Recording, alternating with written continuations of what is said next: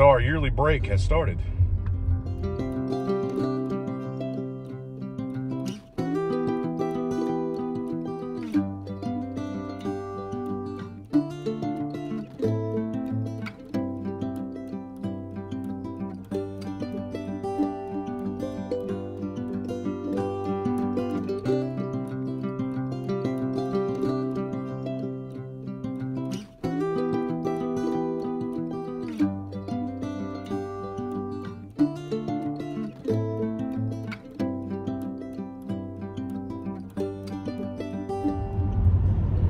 We just wrapped up our first half of the year filming, uh, and we're now on our break. So, yeah, been a busy year this year so far, and I gotta tell you, it's been busy. This past week's been busy. This past Saturday, I took some youth on a trip to uh, Sevierville. But if you don't know if that's at, it's kind of confusing because Sevierville and Pigeon Forge is like right beside each other, and. Uh, I always called it Pigeon Forge growing up. Now the whole area, if you say you're going to Pigeon Forge, it don't matter. You're going to Gatlinburg. And so I've heard that a hundred times also. And uh, got down there, and it was the Saturday before, because I guess yesterday Buc-ee's opened up up there in Sevierville, right off the the like exit, and it's massive. It's a huge store, which I'd go see one. I, I don't have like just a craze to go and see it. It doesn't really matter to me.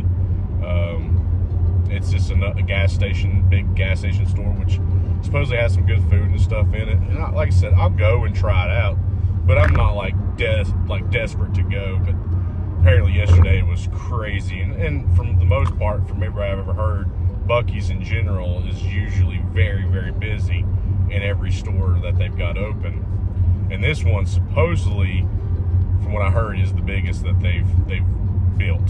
So it's a humongous store. Got plenty of stuff in there for everybody of all walks of life, I guess. Um, and I think it was just interesting that, and I, I took a picture of it. You'll see it right right here, uh, just the side of it. I guess the back side of it, really, as we was driving by. And uh, I mean, you can you're driving down. Uh, Interstate 40 and you see the big beaver sign. I mean, it's like a humongous sign. It's bigger than anything else around. Then you just know that's exactly where this location is. And I guess they've made a humongous sign because it's a humongous store. So it's like a Walmart with a bunch of gas stations. And there is, a, I mean, amount, massive amount of gas station or gas pumps in this gas station. It's crazy uh, bigger than any like truck stop I've ever been to. It is ridiculous how big this thing is. You could think they're trying to make it seen by people in space. I don't know, but it's just a, it's just a thought. So they we went up there and I saw I saw that thing, I, and then yesterday it opened up and I saw a bunch of people posting pictures and stuff. I mean, it looks like an interesting place. Don't get me wrong but uh, it's just nothing I have to go run to and, and, go see. But I mean, on TikTok, it's everywhere. Not just that location, but in general, Buc-ee's is everywhere. So everybody loves going to Buc-ee's, which don't get me wrong, if that's what your thing is, by all means, it's just something I don't really have to go do. Now, if I'm in the area and I want to, you know, beat people down to try to get into a place that has some things, I may go and, and try it out and see what it's like apparently they got some interesting, good food there. Um, and you know me, I like to eat, so maybe I'll try some food out if I go that way. But for as of right now, I'm not desperate to go. But yeah, so that opened up this past Monday, and people were, were going to town about that. And, uh, so Fourth of July is right around the corner. I mean, it's just literally in a, in a few days today's see today. I don't know what today is. The I have no idea. It's Tuesday something. I don't know what today is, but I know the fourth is next week. I think. See, I think the end of the month is this Friday. Yeah, I think. See, this Saturday, Sunday, Tuesday, Tuesday. Yeah, maybe it's Tuesday. This uh, this next week.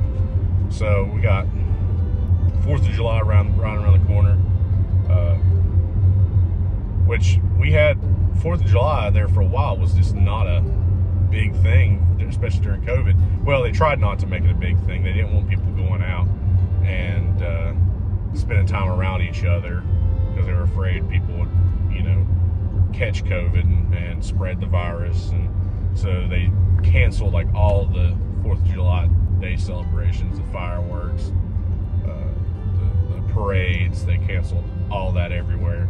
And uh, last year, I think I think it was last year or this year. I can't remember when I seen this post, but it seems like Bristol is just now like starting to do their Fourth of July like fireworks show. I think it was that if I'm not mistaken, it was this year, but I could be wrong. Maybe it was last year, which threw me off. I mean, we're in now 2023. This was back in 2020, and it took them three years just to start their Fourth of July day, Fourth of July fireworks celebration show.